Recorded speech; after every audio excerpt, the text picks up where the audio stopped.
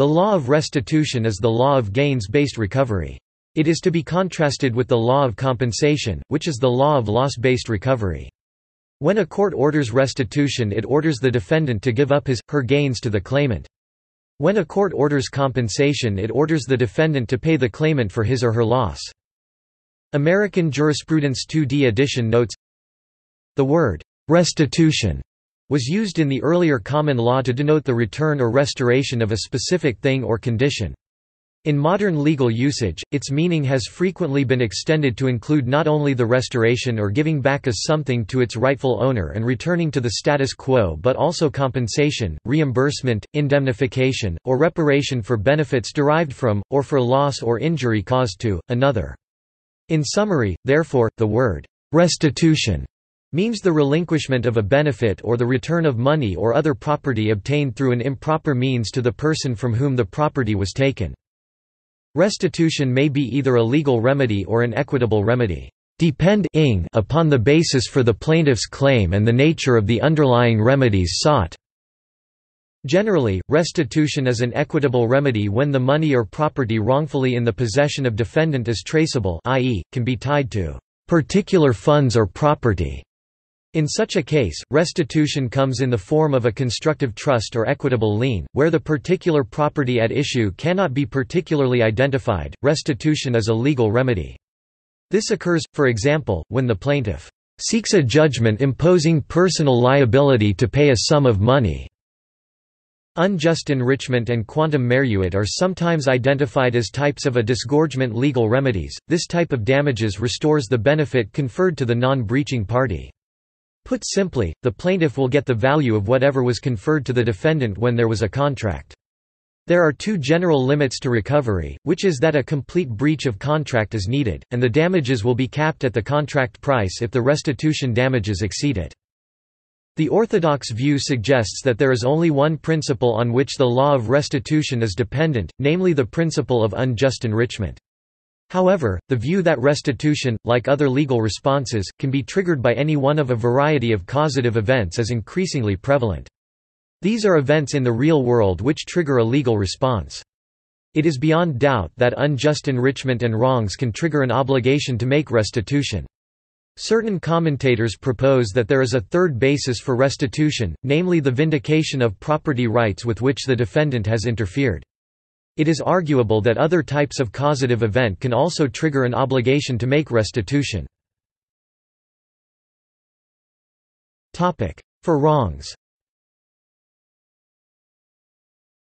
Imagine that A commits a wrong against B and B sues in respect of that wrong. A will certainly be liable to pay compensation to B if B seeks compensation then the court award will be measured by reference to the loss that B has suffered as a result of A's wrongful act. However, in certain circumstances it will be open to B to seek restitution rather than compensation.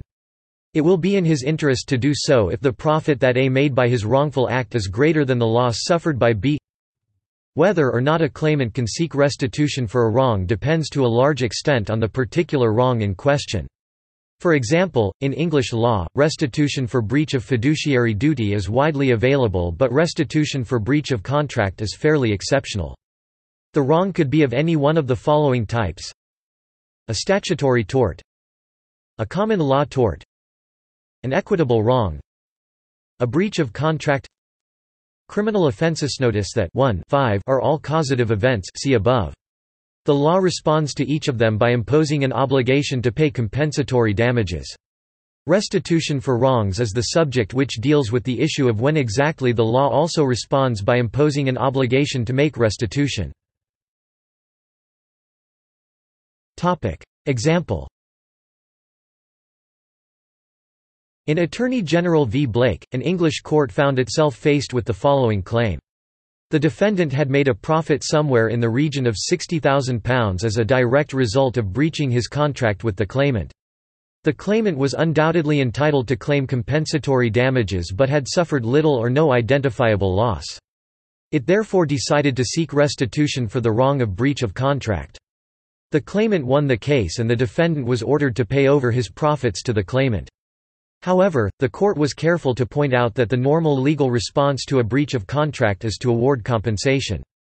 An order to make restitution was said to be available only in exceptional circumstances. To reverse unjust enrichment Cases of intentional torts or breaches of fiduciary duty often allow for claims of unjust enrichment, as well as cases of statutory torts and breaches of contract. A plaintiff can even have a claim in unjust enrichment when there is no other substantive claim. The Uniform Commercial Code UCC entitles a buyer who defaults restitution of the buyer's deposit to the extent it exceeds reasonable liquidated damages or actual damages. If the contract does not have a liquidated damages clause, the UCC provides a statutory sum, 20% of the price or $500, whichever is less, and the buyer who defaulted is entitled to restitution of any excess. United Nations level The United Nations Convention Against Corruption UNCAC Working Group on Asset Recovery The UNCAC Coalition of Civil Society Organizations The World Bank, Stolen Asset Recovery Initiative STAR. See also. Notes. Further reading Mitchell, Charles, Mitchell, Paul 2006. Landmark Cases in the Law of Restitution.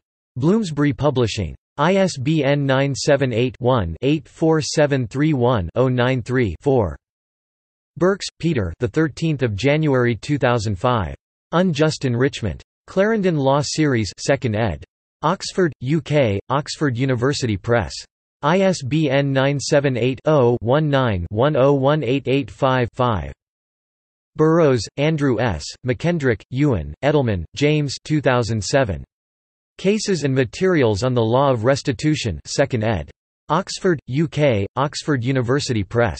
ISBN 978-0-19-929651-4. Butt, Daniel 2009. Rectifying International Injustice, Principles of Compensation and Restitution Between Nations. Oxford, UK, Oxford University Press. ISBN 978 0 19 921824 0.